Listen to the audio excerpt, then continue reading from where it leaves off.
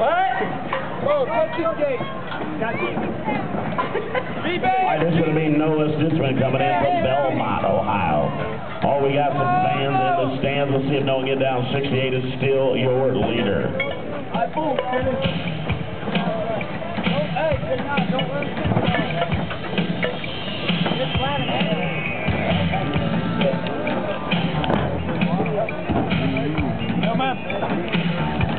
Uh, hell, he let me come back. I don't think I ever had this. Loaded those feet real good. Wow, what are you doing?